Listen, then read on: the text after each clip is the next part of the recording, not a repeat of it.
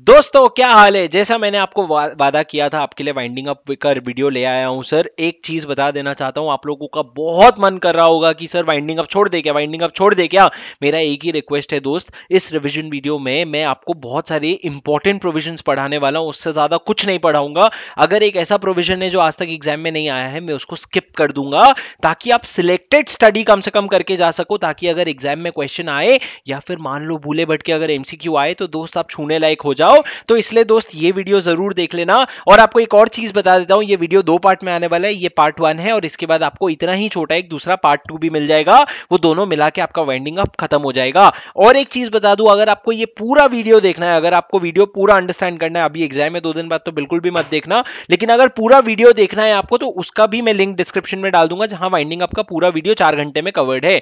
अब सर सुनो शुरू करते हैं बिना और डिले किए। सेक्शन 294 बताता है सर वाइंडिंग अप क्या होता है? वाइंडिंग अप क्या होता है दोस्त? वाइंडिंग अप मतलब या तो इस एक्ट के अंदर वाइंडिंग अप बोल लो या फिर जो आपका इंसॉल्वेंसी बैंक्रप्सी कोड के अंदर लिक्विडेशन है वो भी वाइंडिंग अप हो जाता है। ये चैप्टर पा, चार पार्ट में बटा हुआ है। पार्ट टू और पार्ट फोर आपके लिए रेलिवेंट नहीं है। रेलिवेंट है पार्ट वन और पार्ट थ्री जो सबसे ज़्यादा इंपॉर्टेंट है। पार्ट वन क्या कहते हैं sir winding up by the tribunal sir अगर आज के डेट पे कोई आपको पूछे वॉलंटरी वाइंडिंग अप हो सकता है कि नहीं जब से इंसॉल्वेंसी बैंक्रप्सी कोड आया है, वो पार्ट जो है, वो ओमिट हो गया है। और सर पार्ट वन क्या है? वाइंडिंग अप ट्राइब्यूनल जब आपका ट्राइब्यूनल जो नेशनल कंपनी लॉ ट्राइब्यूनल होता है, वो आपकी कंपनी का वाइंडिंग अप करे तो आपका क्या प्रोविज़न एप्लीकेबल होगा? और जो पार्ट थ्री है, जो मैं अगले वीडियो में कवर करूँगा, वो कुछ कॉमन प्रोविज़न होंगे। अब आते हैं दोस्त पार्ट वन क्या है? पार्ट वन सर देखो, ये चैप्टर शुरू होता है सेक्शन 270 से, जाता है 365 तक। ऐसा लगता है बहुत सारे सेक्शन है, लेकिन इतने सारे सेक्शन नहीं है सर आधे से ज़्यादा तो ओमिट हो गए, आधे से ज़्यादा इरेलीवेंट है।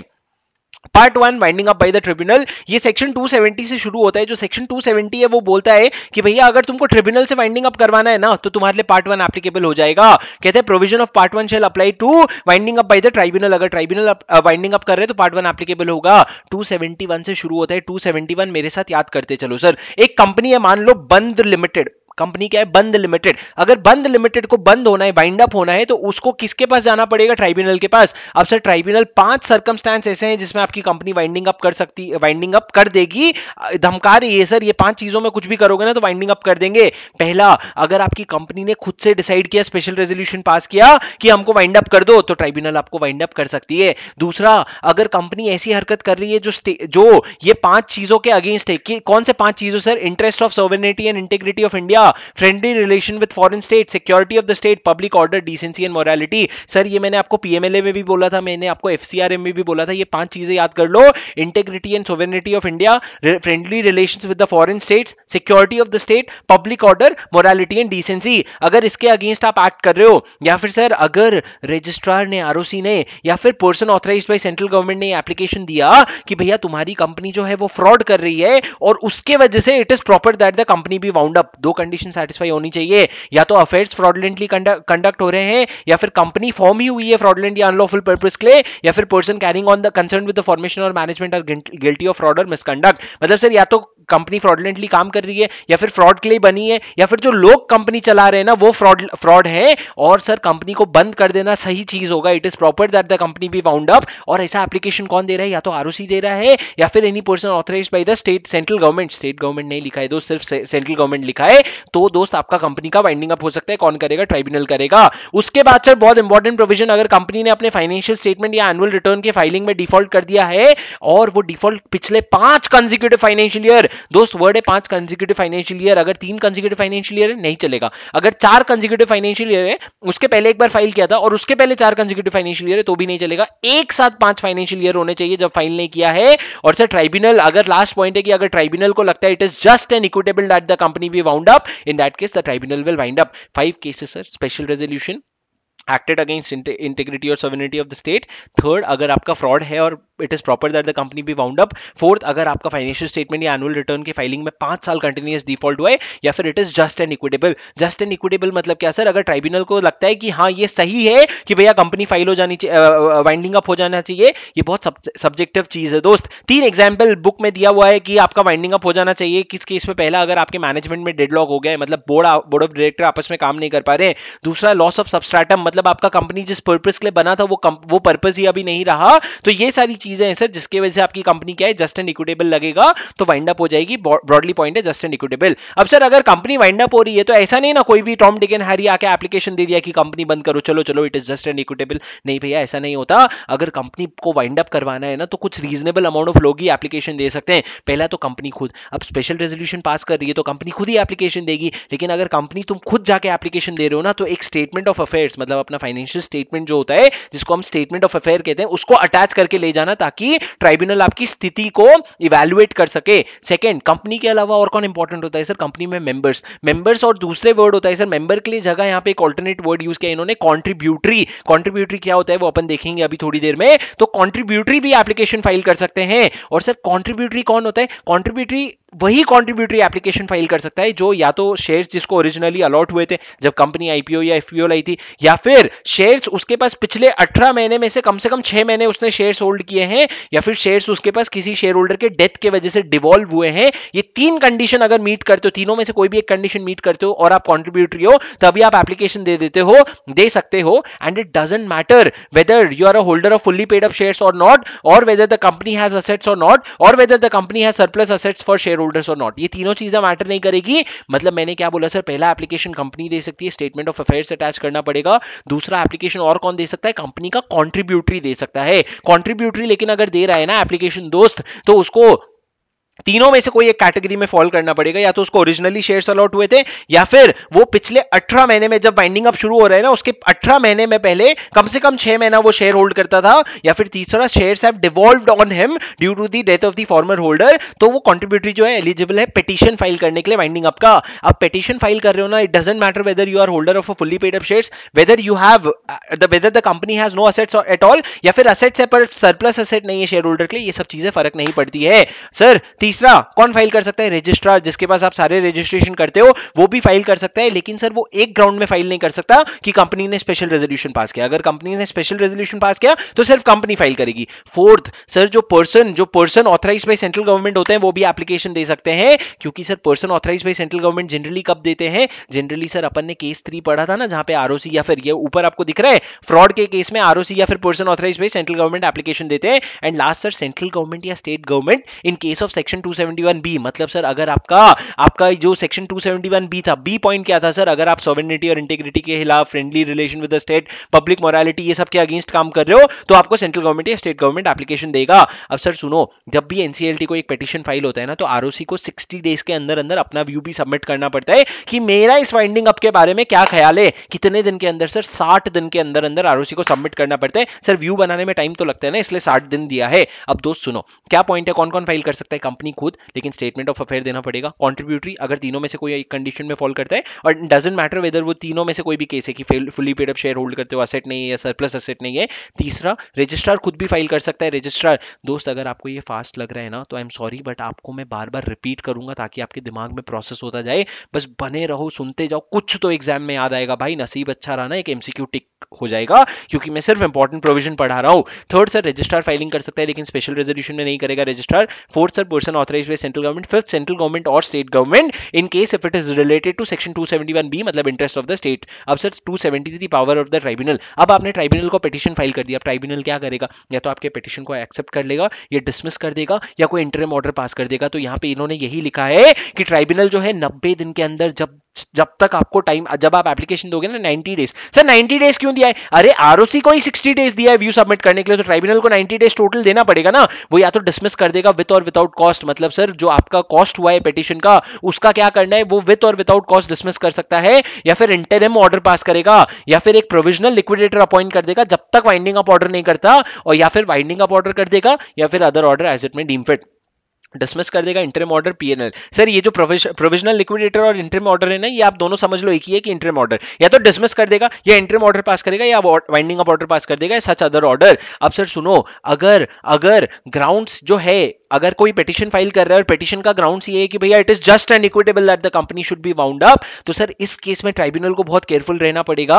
वो ऑर्डर ऑफ़ वाइंडिंग अप नहीं पास करेगा, अगर उसको लगता है पहला कि भैया वाइंडिंग अप के अलावा कोई और रेमेडी अवेलेबल है, और sir the applicant is acting unreasonable by asking for winding up वो वाइंडिंग अप बोल के बहुत गलत बोल रहा है वाइंडिंग अप के अलावा भी और सोल्यूशन है, हम वो अप्लाई कर सकते हैं, क्योंकि भाई वाइंडिंग अप करना मज़ाक नहीं जान निकल जाती है सारे लोगों की। तो सर क्या ऑर्डर पास करेगा पावर ऑफ़ ट्राइब्यूनल वो लिखा है। Section two direction for filing statement of the affairs sir सुनो, बहुत ज़्यादा इंपॉर्टेंट नहीं है, लेकिन जैसे ही आप, आपने, सोचो, आप सोचो रिलायंस के अगेंस्ट आपने यहाँ पे वाइंडिंग अप का पिटिशन फ़ाइल कर दिया। ट्राइब्यूनल ने पिटिशन एक्सेप्ट कर लिया। अरे, जाके रिलायंस से तो भी पूछ लो। तो ट्राइब्यूनल क्या करेगा? रिलायंस के पास जाएगा और बोलेगा रिलायंस तू ना ऑब्जेक्शन है तो कोई ऑब्जेक्शन फ़ाइल कर ले या फिर देखो कोई स्टेटमेंट ऑफ़ अफेयर फ़ाइल करना है तो वो स्टेटमेंट ऑफ़ अफेयर फ़ाइल कर ले। कितने दिन के अंदर, जिस दिन हम नोटिस भेज रहे हैं ना, उसके थर्टी डेज़ के अंदर अंदर। क्योंकि भैया नाइनटी डेज़ में तो हमको रिवर्ट करना है ना। और अगर देखो थर्टी डेज़ से ज़्यादा चाहिए, कोई स्पेशल सर्कमस्टांस है या फिर कोई कंटिजेंसी है तो देखो थर्टी डेज़ से ज़्यादा भी मिल जाएँगे। और सर ये तो हो गया रिलायंस को। जो पेटिशनर है ना, उसको बोल सकता है, भाई, तू थोड़ा सा सिक्योरिटी डिपॉजिट भी फ़ाइल कर दे,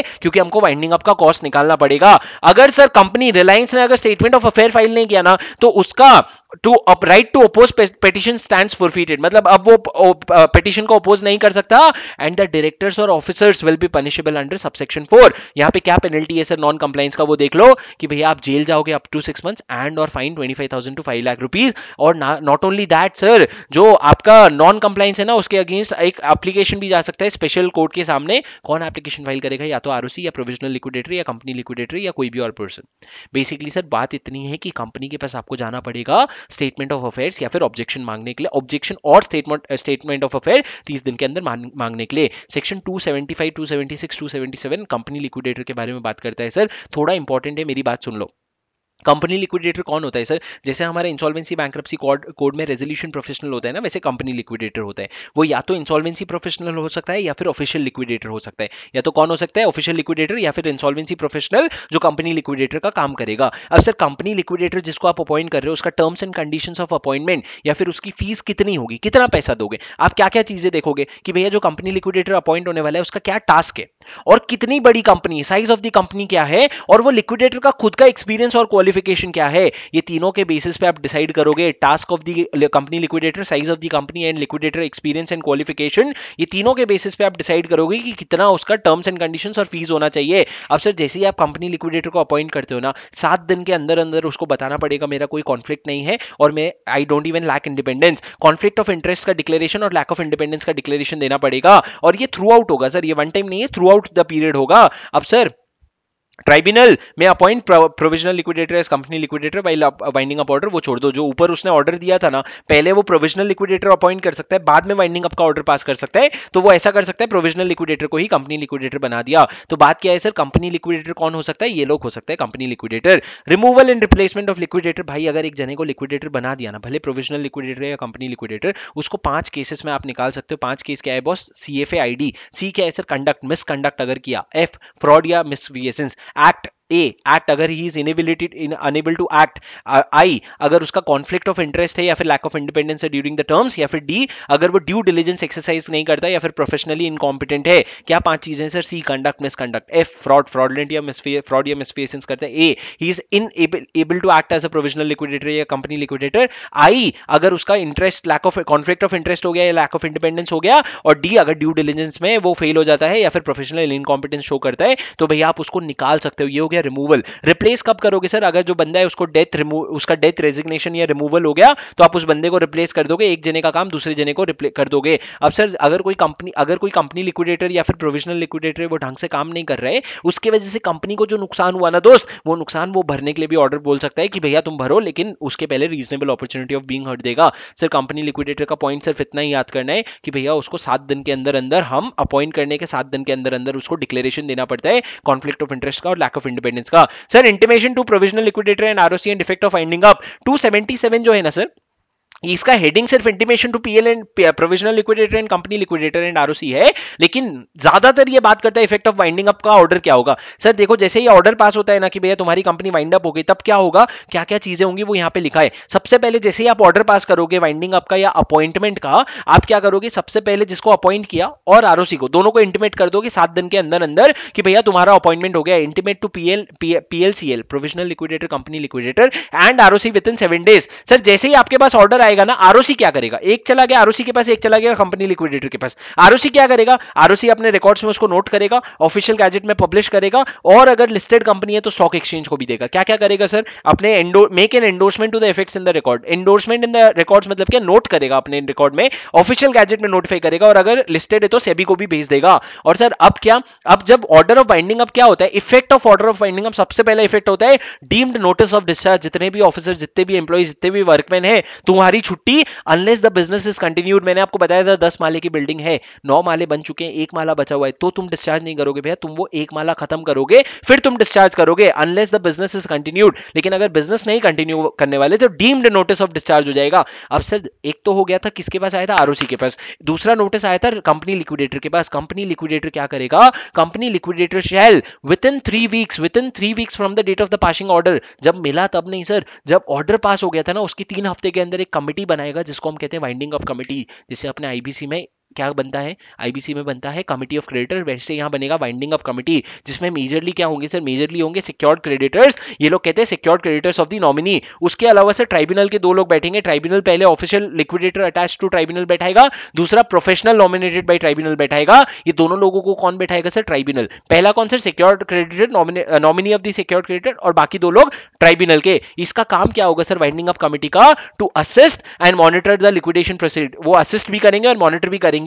अब सर देखो अगर कोई आपसे पूछे कि भैया इन लोगों का काम क्या है तो मैं इनके काम को तीन हिस्से में बांटता हूँ। Winding up committee shall assistant monitor in the following sir exam में आ गया था what is the function of the winding up committee मैं आपको बताता हूँ वाइंडिंग अप कमिटी का काम क्या है। सबसे पहले देखो सर वाइंडिंग अप कमिटी क्या करेगी? असेट से रिलेटेड क्या करेगी? सबसे पहले सारे असेट्स टेक ओवर कर लेगी और आप बाइंडिंग अप कर रहे हो। मतलब असेट बेच के आपको लाइबिलिटी पे ऑफ़ करना है तो असेट्स टेक ओवर करो, उसको पे ऑफ़ करो और रिकवरी ऑफ़ कैश प्रॉपर्टी और अदर असेट आपका अगर कोई पैसा फंसा हुआ है तो उसकी रिकवरी करो। उसके बाद सर दो प्रोसीजरल हो गया। Examination of statement of affair review of accounts and audit report एक तो आपका स्टेटमेंट ऑफ़ अफेयर रिव्यू कर लो और आपका ऑडिट और ऑडिट रिपोर्ट और अकाउंट्स रिव्यू कर लो। उसके बाद क्रेडिटर से रिलेटेड दो पॉइंट हो गए सर आपके असेट तो फाइनलाइज हो गए। अब क्रेडिटर भी तो देखो लिस्ट ऑफ़ क्रेडिटर और कॉन्ट्रीब्यूटरी फाइनलाइज करो और जो भी आपके पास क्लेम्स आए हैं ना, उसको या तो कॉम्प्रोमाइज करो। मतलब उनको बोलो, भाई, सौ रुपए छोड़ना, पचास रुपए में काम चला ले। या फिर उनको अबैंडन कर दो या फिर सेटल कर दो। And sir payment of dividend and other function भी specified by the tribunal sir एक बार बाइंडिंग ऑफ़ कमिटी का फ़ंक्शन एग्ज़ाम में आ गया था। उसका काम क्या सारे असेट्स लेना। असेट्स को सेल करना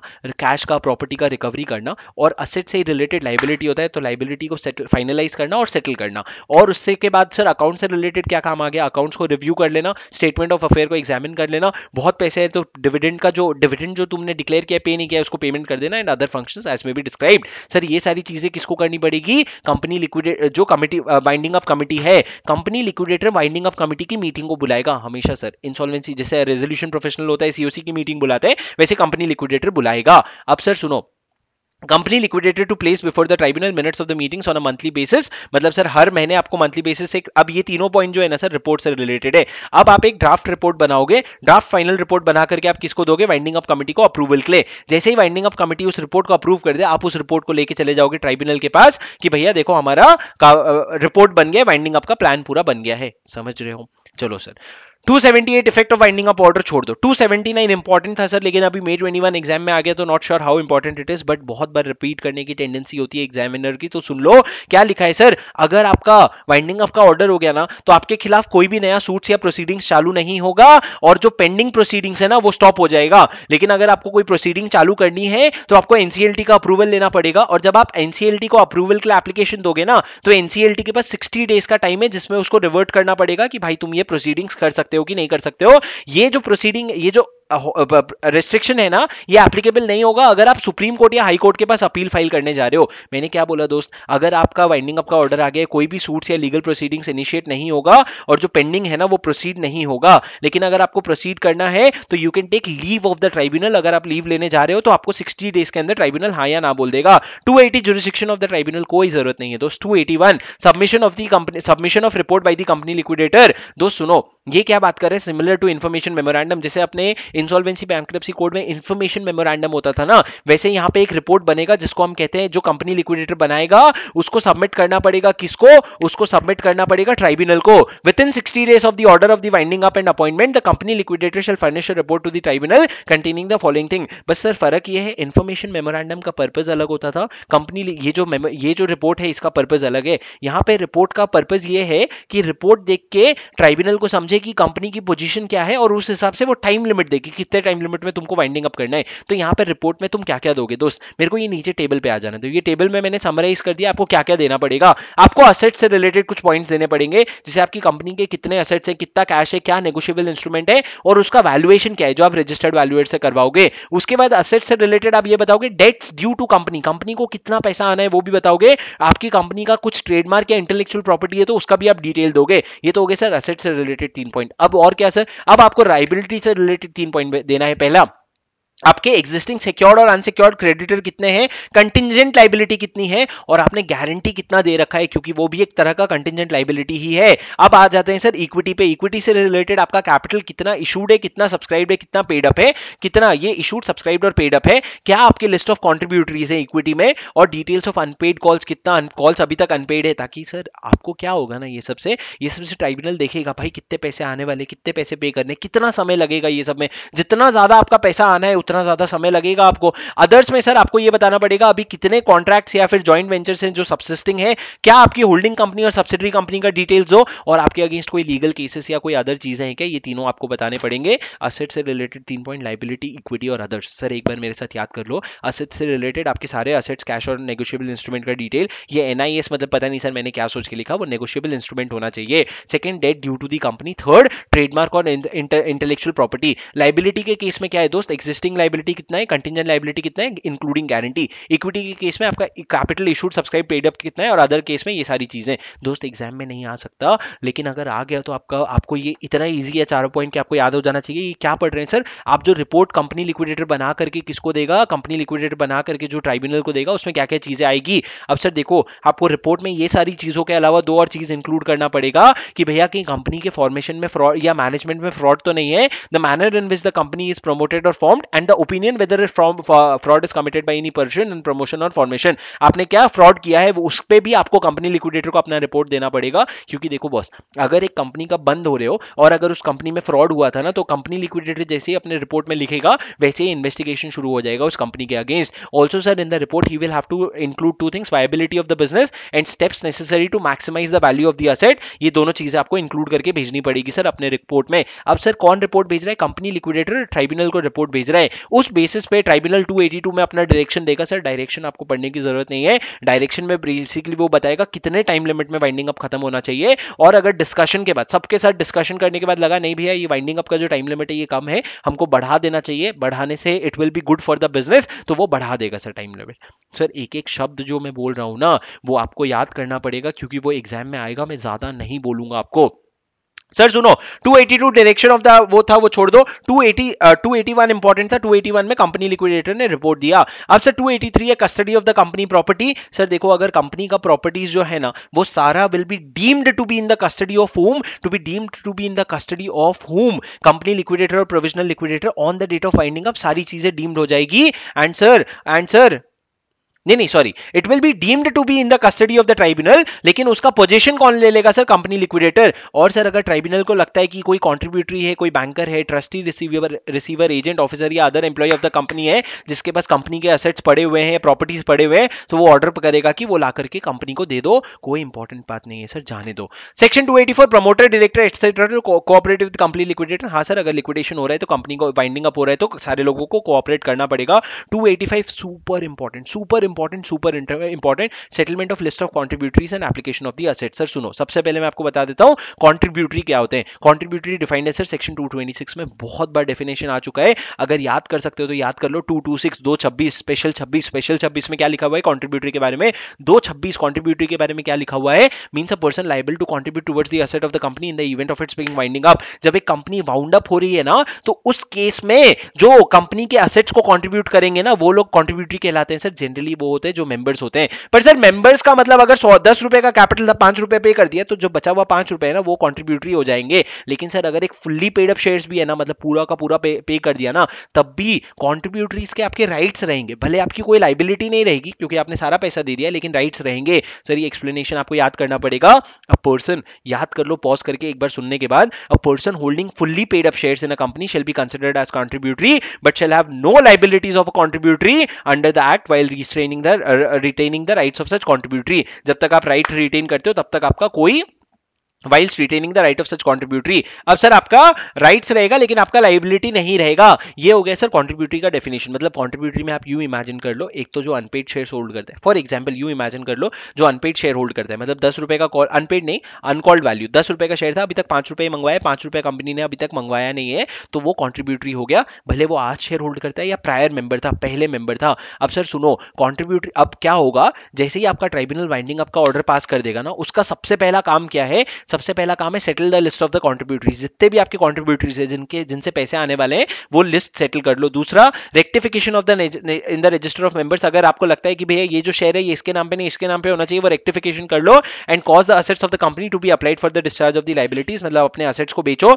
और जो पैसे आएँगे apply for the discharge of your liability तीन काम है sir settle the list of the contributory किससे पैसे आने वाले मेंबर का नाम करेक्ट करो, अगर लगता है तुमको करना चाहिए और अपने असेट बेच के लाइबिलिटी पे ऑफ़ करो। Sir settle the list of contributory जो होता है ना, उसमें एक एक्सेप्शन दिया हुआ है। अगर ट्राइब्यूनल को ये लगता है कि ना ही उसको कॉल करने पड़ेंगे मतलब असेट सफिशियंट है, हमको कोई कॉल करने की ज़रूरत नहीं पड़ेगी, और हमको ना ही किसी के राइट्स एडजस्ट करने पड़ेंगे। सर राइट्स एडजस्ट क्या होता है? मैंने आपको उस वाले लेक्चर में समझाया तो जिसका लिंक आपको डिस्क्रिप्शन में मिलेगा। लेकिन अगर आपको राइट्स एडजस्ट करना है, एक लोगों से, एक मेंबर से मंगवा के दूसरे मेंबर को देना है, अगर आपको लगता है ना ही कॉल करने की ज़रूरत पड़ेगी, ना ही राइट्स एडजस्ट करना है तो आप ना settlement of list of contributories को छोड़ सकते हो। अब सर सुनो in settling the list of contributories, distinguished contributories in own right and contribution as represented by others, छोड़ दो। इंपॉर्टेंट है ये सर अगर आप एक लिस्ट ऑफ़ कॉन्ट्रीब्यूटरीज सेटल कर रहे हो ना कि भैया कौन कौन कॉन्ट्रीब्यूट करेगा तो उसमें कोई भी पर्सन का नाम आ जाएगा जो आपका मेंबर है या जो आपका मेंबर था। It will include any person who is और has been a member and is liable to to the asset of the company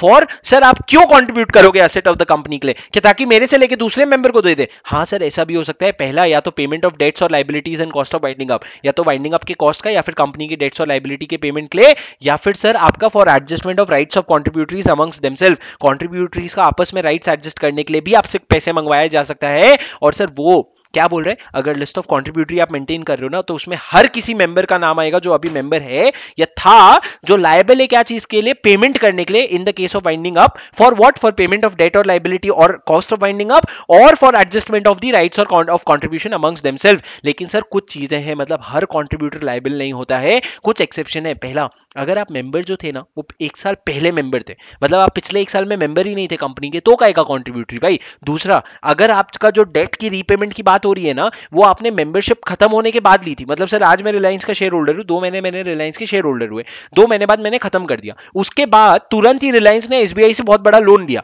अब उस लोन के लिए मैं क्यों पैसा भरूँगा? वो तो लोन तो मेरे मेरे मेंबर के मेरे मेंबरशिप खत्म होने के बाद ली थी ना तो I am not liable third case sir अगर अगर पुराने मेंबर से पैसे तभी लेंगे, अगर जो प्रेजेंट मेंबर है ना, वो लोग अपने कॉल्स पे नहीं कर पा रहे हैं, या फिर उनका कॉल्स का पैसा जो है वो सफिशियंट नहीं है। तीन केस एक्सेप्शन है सर पहला, अगर आप पिछले एक साल एक साल पहले मेंबर थे। पिछले एक साल में आप मेंबर नहीं थे। A person who has been a member shall not be liable to contribute if he ceases to be a member for more than one year preceding the winding up winding up से एक साल पहले से ज़्यादा आप seize कर चुके हो इन रेस्पेक्ट ऑफ़ डेट्स और liability contracted after he cease to be a member या फिर आप कभी भी सीज किए, लेकिन आपका डेट्स और लाइबिलिटी जो है contracted after you became after you cease to be a member तीसरा सर अगर अगर अगर प्रेजेंट मेंबर जो है, वो unable to satisfy required contribution तभी आप पुराने मेंबर्स के पास जाओगे। अब सुनो सर अगर कंपनी लिमिटेड बाई शेयर्स है ना तो अनपेड अमाउंट तक ही मंगवा सकते हो, और अगर कंपनी लिमिटेड बाई गारंटी है ना तो जितना उन्होंने गारंटी दिया था, सिर्फ़ उतना ही मंगवा सकते हो, उससे ज़्यादा नहीं मंगवा सकते। यहाँ पे ये लिखा हुआ है सर यही चीज़ है, यही इंपॉर्टेंट है, एक साल का टाइम लिमिट और अगर जो डेट या लाइबिलिटी है that was contracted after you cease to be a member यही इंपॉर्टेंट है सर टू बहुत इंपॉर्टेंट था। टू 286 से लेके बहुत कम इंपॉर्टेंट है सर ऑब्लिगेशन ऑफ़ मतलब एक सेकंड जो पार्ट टू में बनाऊँगा वीडियो में, वो बहुत इंपॉर्टेंट है, लेकिन इस वीडियो में शायद ज़्यादा इंपॉर्टेंट नहीं है. फटाफट सुन लो. ऑब्लिगेशन ऑफ़ डायरेक्टर्स और मैनेजर्स सर जो भी कंपनी के डायरेक्टर्स और मैनेजर्स हैं, उनका ऑब्लिगेशन ये होता है कि भैया, उनकी लाइबिलिटी जनरली अनलिमिटेड होती है. उनको अनलिमिटेड लाइबिलिटी होती है, लेकिन अगर उनका एक साल पहले ऑफ़िस खत्म हो गया था, या फिर जो डेट या लाइबिलिटी है, वो बाद में कॉन्ट्रैक्ट हुआ था उनके ऑफ़िस खत्म होने के बाद तो वो लाइबिल नहीं होंगे. सर एक 287 में एडवाइजरी कमेटी बनता है. एडवाइजरी कमेटी क्या होता है दोस्त? एडवाइजरी कमेटी वो होता है, जिसका दो काम होता है. एक तो कंपनी लिक्विडेटर को असिस्ट करना, दूसरा आपको ट्राइब्यूनल को रिपोर्ट करना। क्या काम होता है? Advise the company liquidator and report to the tribunal ये दो काम होते हैं सर अब सर कंपनी एडवाइजरी कमेटी में कितने लोग होंगे? तो लॉ कहते हैं बारह मेंबर या उससे कम होंगे। कौन लोग होंगे सर या तो वो कॉन्ट्रीब्यूटरी होंगे या क्रेडिटर या फिर जो भी पर्सन एनसीएलटी अपॉइंट करेगा। लेकिन सर अभी कॉन्ट्रीब्यूटरी या क्रेडिटर को अपॉइंट करने के लिए पता तो होना चाहिए कौन होगा। तो इन्होंने इन्होंने ओनर्स डाला है कंपनी लिक्विडेटर के अंदर कि भैया, जिस दिन तो वाइंडिंग अप का ऑर्डर होगा ना, उसके तीस दिन के अंदर अंदर एक मीटिंग बुला देना क्रेडिटर की और कॉन्ट्रीब्यूटरीज की ताकि उसमें से हम छाट पाए एडवाइजरी कमिटी कौन बनेगा। Convene a meeting for to enable the tribunal to determine member of the advisory committee and sir उनका राइट right होगा वो बुक्स को इंस्पेक्ट कर सकते हैं और हर वो चीज़ जो कर सकते कर, करना चाहे कर सकते हैं। इनका मीटिंग का चेयरपर्सन कौन होगा सर कंपनी लिक्विडेटर दोस्त एक चीज़ सुन लो ये बनाना इंपॉर्टेंट नहीं है। ट्राइब्यूनल में एडवाइजरी कमेटी बन भी सकती है नहीं भी बन सकती है ज़रूरी नहीं है मैंडेटरी नहीं है। 288 छोड़ दो sir 299 powers and duties of company liquidator मैं आपको नहीं पढ़ा रहा हूँ, क्योंकि अगर आप इंसॉल्वेंसी बैंक्रप्सी कोड पढ़ रहे हो, जिसमें ज़्यादा टाइम देने वाले हो, उसमें मैंने आपको याद करवाया इंसॉल्वेंसी रेजोल्यूशन प्रोफेशनल का या आईआरपी का पावर क्या होता है, यहाँ पे वो सेम ही पावर है सर बिज़नेस कंडक्ट करना प्रॉपर्टीज़ अपने कंट्रोल में लेना कंपनी को as a going concern conduct करना, कोई भी पैसे रेज करना सूट्स और प्रोसिक्यूशन देखना क्लेम सेटल करना इंस्पेक्ट करना रैंक प्रूव करना प्रोफेशनल असिस्टेंस लेना, अगर उसको लेना है तो and all such action as is necessary for the purpose of the winding up 291 professional sir मैं भगा नहीं रहा हूँ, वो इंपॉर्टेंट प्रोविजंस नहीं है, ठीक है? टेंशन मत लो। 291 professional assistance to company liquidator अगर कंपनी लिक्विडेटर को लगता है, अरे मेरे को किसी का असिस्टेंट चाहिए chartered accountant company secretary CMA का तो वो असिस्टेंस ले सकता है, लेकिन उसको ट्राइब्यूनल का अप्रूवल लगेगा। सर ट्राइब्यूनल के अप्रूवल के बाद ही वो होशियारी मारेगा, और सर, लेकिन जिसका असिस्टेंस ले रहा है ना, उसका भी कॉन्फ्लिक्ट ऑफ़ इंटरेस्ट नहीं होना चाहिए और इंडिपेंडेंस का लैक नहीं होना चाहिए। 292 exercise and control of the exercise and control of the company liquidators power sir, सुनो, एक चीज़, एक प्रोविज़न है कि जब कंपनी लिक्विडेटर अपने पावर्स को एक्सरसाइज कर रहे हैं ना वो दो लोगों की बात सुनेगा। एक तो उसके वाइंडिंग अप कमेटी का, जो रेजोल्यूशन जो कमेटी ऑफ़ क्रेडिटर्स और कॉन्ट्रीब्यूटरीज है दूसरा अपने एडवाइजरी कमेटी का। लेकिन सर, इन दोनों की बातों में अगर कॉन्फ्लिक्ट आया ना तो प्रिवेल कौन करेगा वाइंडिंग अप कमेटी मतलब सर रेजोल्यूशन ऑफ़ कंपनी और क्रेडिटर्स और कॉन्ट्रीब्यूटरीज क्योंकि सर एडवाइजरी कमेटी तो यूँ ही बना है। अब सर सुनो कभी कभी कंपनी लिक्विडेटर को ना ओपिनियन चाहिए होता है तो वो चाहे तो क्रेडिटर्स और कॉन्ट्रीब्यूटरीज का कभी भी मीटिंग बुला सकता है। लेकिन सर, अगर खुद नहीं बुलाना चाहता, लेकिन 10 परसेंट से ज़्यादा वैल्यू जो होल्ड करते क्रेडिटर्स या कॉन्ट्रीब्यूटरीज उन्होंने ट्राइबिन उन्होंने इसको एप्लीकेशन दिया किसको? कंपनी लिक्विडेटर को कि भाई तू एक मीटिंग बुला तो उसको मीटिंग बुलाना पड़ेगा। तो sir summoning meetings of creditors और कॉन्ट्रीब्यूटरीज सुओ मोटो मतलब खुद भी बुला सकते हैं जब उसकी इच्छा है, या फिर अगर दस one tenth of the value of creditors या कॉन्ट्रीब्यूटरी से ज़्यादा ने अगर राइटिंग में रिक्वेस्ट किया तो उसको बुलाना पड़ेगा। अब सर सुनो, अगर किसी कंपनी लिक्विडेटर की किसी हरकत से अगर कोई कोई वाइंडिंग अप कोई अगर क्रेडिटर जो है वो अग्रीव्ड हो जाता है तो वो ट्राइब्यूनल को एप्लीकेशन दे सकता है ट्राइब्यूनल ऑर्डर पास करेगा। 293 में बुक्स अकाउंट बुक्स मेंटेन करना पड़ेगा सर, कितना रिसीव हुआ है, कितना पेमेंट हुआ है, और उस बुक का ऑडिट होगा, और ऑडिट होने के बाद वो फ़ाइल हो जाएगा ट्राइब्यूनल और आरओसी के पास। Sir 295 payment of debt by contributory and set off sir बहुत ज़्यादा इंपॉर्टेंट नहीं है, बहुत ज़्यादा लेकिन कॉम्प्लिकेटेड है, सुनो। कभी कभी क्या होता है कॉन्ट्रीब्यूटरी होता है, एक मेंबर होता है, उससे पैसे लेने होते हैं कंपनी को, लेकिन ऑन द अदर हैंड उसी कंपनी को, उसी कॉन्ट्रीब्यूटरी को एक दूसरी तरफ़ से पैसे देने भी होते हैं कि भैया तू चार्टर्ड अकाउंटेंट अकाउंटेंट है, तू मेरा कॉन्ट्रीब्यूटरी है तो तू पैसे दे, लेकिन तूने मेरे को अकाउंटिंग सर्विस भी प्रोवाइड की तो तू मेरे से पैसे लेने भी हैं तो क्या वो सेट ऑफ़ हो सकता है? लॉ कहता है, देख भैया, अगर वो कॉन्ट्रीब्यूटरी की लाइबिलिटी अनलिमिटेड है ना तो तू सेट ऑफ़ कर दे, लेकिन अगर लाइबिलिटी है लिमिटेड है ना तो फिर तू देख सारे क्रेडिटर्स का या डेट डेट का पेमेंट हो गया है कि नहीं? अगर हो गया है तो तू सेट ऑफ़ कर दे, वरना तू सेट ऑफ़ नहीं कर सकता। मतलब सर, कुल मिला के सेट ऑफ़ करने नहीं दे रहे हैं। अगर तेरी लाइबिलिटी अनलिमिटेड है। मतलब भैया सेट ऑफ़ करने के बाद भी तेरे को पैसे तो देने पड़ेंगे तो तू सेट ऑफ़ कर दे। लेकिन अगर लाइबिलिटी अनलिमिटेड नहीं है लिमिटेड है तो तू देख ले सारे क्रेडिटर्स का और डेट का पेमेंट हो गया है कि नहीं। अगर हो गया तो तू सेट ऑफ़ कर ले। ठीक है? ये हो गया in case of a unlimited company और limited company sir power 296 power to make of tribunal to make calls sir tribunal जितने भी अनपेड कॉल्स है ना, उनको बोलेगा, भैया पैसे भर दो। और उनको बोलेगा, उनको कॉल करेगा और उनको ऑर्डर भी करेगा, पैसे भर दो। 297 298 छोड़ दो सर ठीक है। The tribunal shall adjust the right of the contributories among themselves and distribute any surplus among the person entitle to मतलब सर, अगर एक क्लास ए शेयर था, एक जने ने दस रुपए पे पाँच रुपए पे किया था, दूसरे जने ने दस रुपए पे चार रुपए पे किया था तो वो चार रुपए वाले को बोलेगा, भाई तू पॉइंट फाइव रुपीज़ दे, मैं लेकर के वो पाँच रुपए वाले को दे दूँगा ताकि तुम दोनों का नुकसान फोर पॉइंट फाइव हो। ऐसा नहीं कि उसका पाँच रुपए का, तेरा चार रुपए का नुकसान हो रहा है, इसको कहते हैं adjustment of rights two ninety nine power of a person suspected to have property of the company sir, अगर ट्राइब्यूनल को लगता है, भैया, किसी, कोई एक पर्सन है जिसके पास इस कंपनी का कोई प्रॉपर्टी असेट पड़ा हुआ है या बुक्स और पेपर्स पड़ा हुआ है तो वो उसको बोलेगा, भाई तू जरा आ करके उस प्रॉपर्टी को या फिर बुक्स और पेपर को मेरे पास दे करके चले जा, बस इंपॉर्टेंट नहीं है सर सुनो 300 भी इंपॉर्टेंट नहीं है दोस्त 301 बहुत इंपॉर्टेंट है, मैं पढ़ा देता हूँ। अगर अगर अगर ट्राइब्यूनल को लग रहा है कि भैया जिस मेंबर के पास या तो कॉन्ट्रीब्यूटरी या फिर कोई ऐसा मेंबर है जिसके पास कंपनी का बुक्स और पेपर्स है, और वो लोग ना इंडिया छोड़ के भागने की कोशिश कर रहे हैं एक्सकॉन्ड करने की कोशिश कर रहे हैं, गायब होने की कोशिश कर रहे हैं, ताकि वो प्रॉपर्टी जो है उसका उसका पता ना चल पाए या फिर उनको अपना एग्जामिनेशन ना करवाना पड़े तो सर ट्राइब्यूनल ऑर्डर पास करेगा कि उसको डिटेन करो मतलब उसको गिरफ़्तार करो। मतलब गिरफ़्तार नहीं, सर डिटेन और अरेस्ट तो अलग अलग वर्ड होता है, लेकिन वो कहेगा डिटेन करो and his books and papers and movable property to be seized and safely kept by the tribunal as may be order sir क्या लिखा है? एक बार पढ़ लो, क्योंकि एग्ज़ाम में आता है arrest of a person absconding India at any time इधर बिफोर और after passing order of the winding up sir अगर वाइंडिंग अप का ऑर्डर पास भी नहीं हुआ है, और अगर tribunal satisfied that a contributory कौन सर? एक कॉन्ट्रीब्यूटरी या फिर एक पर्सन जिसके पास प्रॉपर्टी बुक्स ऑफ़ पेपर्स और of a company in position sir contributory में करंट मेंबर और पास्ट मेंबर भी आता है, वो क्या कर रहा है? Is about to leave India और अदरवाइज़ एब्सकॉन्ड और रिमूव और conceal any of his property for evading the payment of the call sir वो अपने सारे प्रॉपर्टीज़ दे, बेच देना चाहता है ताकि उसको कॉल्स का पेमेंट ना करना पड़े तो ट्राइब्यूनल ऑर्डर करेगा कि उसको डिटेन करो और उसके पास जो बुक्स और पेपर है या मूवेबल प्रॉपर्टी है ना उसको सीज करो और ट्राइब्यूनल अपने पास रखने बोलेगा।